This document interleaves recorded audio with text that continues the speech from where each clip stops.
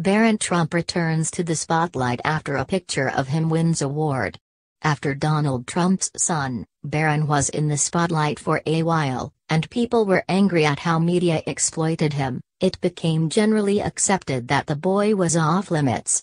The discussions on whether the kid should be robbed of his right to privacy and so, to a normal childhood just because he's the son of the president were heated, but in the end the idea that he should not be covered too much, by the press was the most pregnant discourse. However, the topic once again returned to the forefront, because of a picture of the 10-year-old boy looking out, of the car window received an award. The photo was taken during the inauguration day, and it also features Donald Trump giving a thumbs up.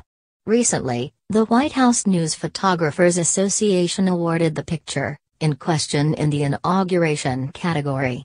And now, the big question returns given the media blackout on children of the president, how far can we go in analyzing this now acclaimed piece of journalism? To what extent is it respectful to tease out the meaning, power, and symbolism of the prized scene? The photo has not been kept from the public view ever since it was taken, and so, it most definitely was accessible to anyone regardless of being awarded or not.